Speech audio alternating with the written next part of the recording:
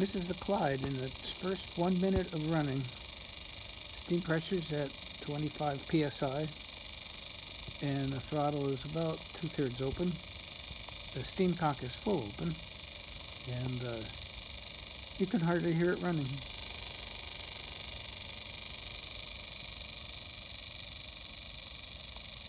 Now it's at 20 psi.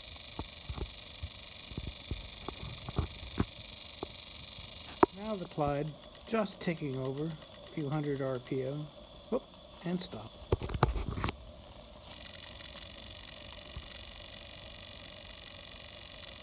I can't believe it's so quiet.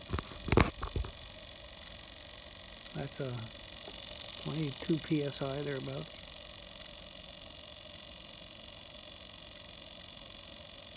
Can't seem to make the pressure get any higher. This flame. Here's the Clyde finishing off the pressure. now it's about 5 psi.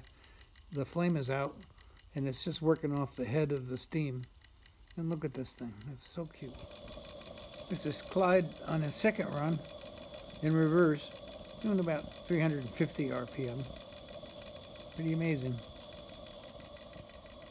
20 psi again.